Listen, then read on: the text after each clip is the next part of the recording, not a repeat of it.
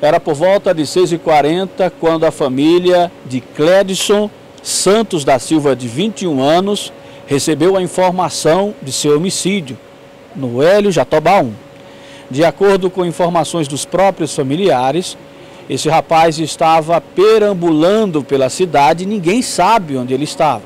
O detalhe é que ele era usuário de entorpecentes. Tinha uma ficha criminal por um assalto, provavelmente na cidade de Anadias. A família não sabe precisar exatamente, mas três dias depois ele estava liberado. Agora a família encontra Cledson estirado no chão. Na casa também estava um rapaz, identificado por Marcos Serafim dos Santos, que é o proprietário da residência.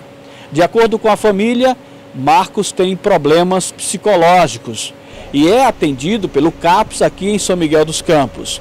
Ele não tem condições nenhuma de fazer uma confirmação de quem foi os supostos atiradores. A Polícia Civil já está aqui no local e já está investigando o caso que pode trazer outros esclarecimentos. Um segundo dado também específico é que a casa não tem como ele ter essa correlação. Ou seja, o detalhe é que o rapaz que foi executado pode ter caído na chamada Cocó.